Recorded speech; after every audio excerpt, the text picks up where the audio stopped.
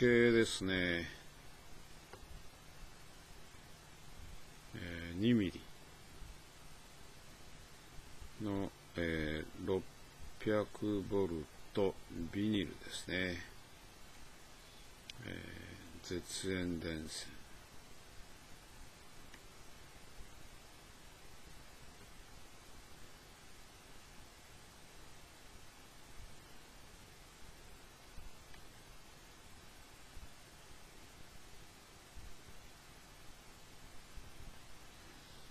の許容電流ですね。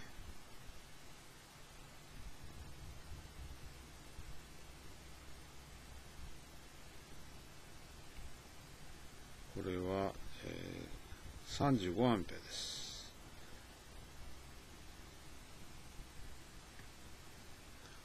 はい、で、えー、この35アンペアはですね、えー、この電線をですね、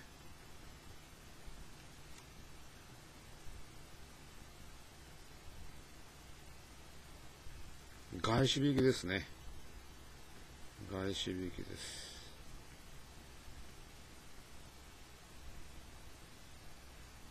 行為ですね。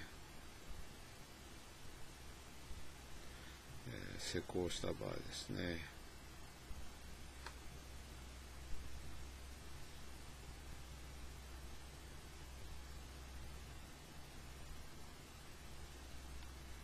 場合の許容電流になりますね。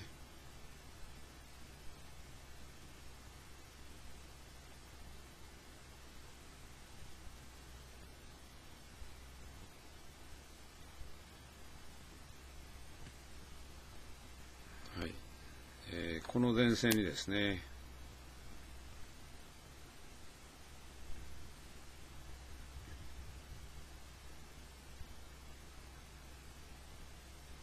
外装ですね。えー、これケーブルですね、いわゆるね。外装をつけたりですね。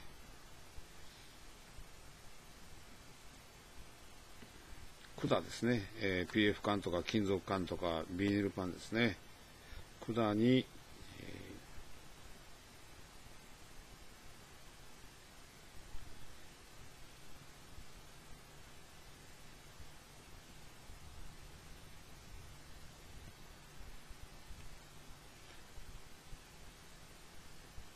そうですね、え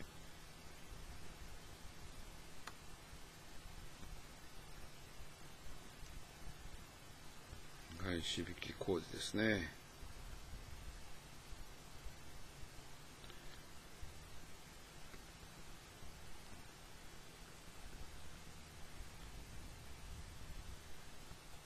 放熱ですね。熱があの空気中に逃げるですね。が少ないですね。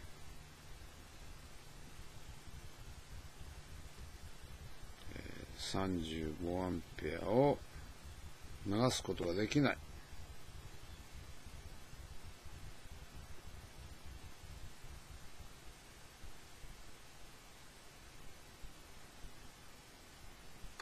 そうですね。えー、そのためですね、ですね、えー、収めるですね、電線が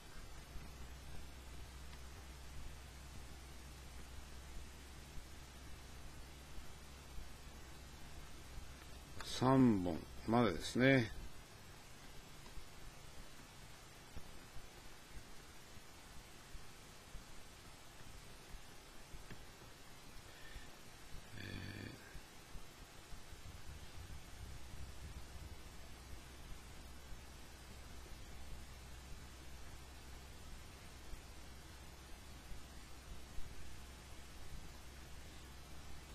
る、えー、許容電離ですね。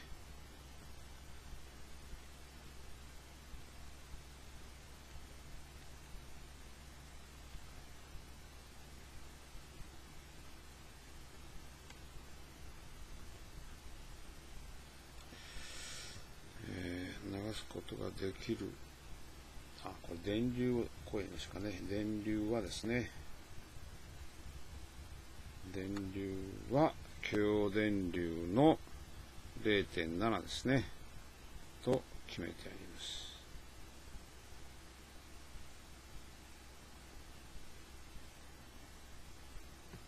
ね、よって、えー、35×0.7 ですね。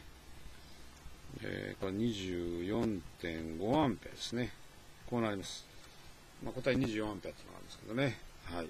えー、これが正解になります。えっ、ー、と、それでまあ、もう一度ね、書いてみますと、えっと、直径ですね。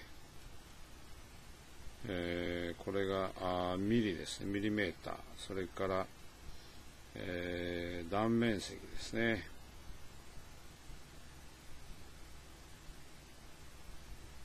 はい、えー、ミリ平方ですね。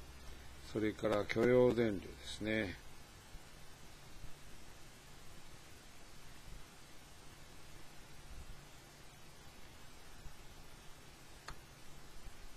はい。えー、これが16と、えー、2ミリと2.6ミリですね。はい。これはあ2ミリ平方です。2スケ。これが、えー、3スケですが、実際は3.14ですね。えー、圧直スリーブ計算するときは3.14で計算してください。それから26がですね、えー、5.3スケ。まあ、あの、ね、嘘の358っていい加減なっていう意味数字、数字がですね、えー、3と5と8ですね。まあ、その中の数字やということですね。はい。それが1と6足したら、えー、7ですから、これ27。2と6足すと8で、えー、48。えー、中取って、まあ、35アンペアと。こうなりますね。えー、この3つですね。これ単線ですけど、えー、直径で書いてありますけど、単線ですけど、えー、これは必ず暗記しておいてください。え必ず1問、2問、ね、え答え、回答できる問題がありますんで、必ずこれを覚えてください。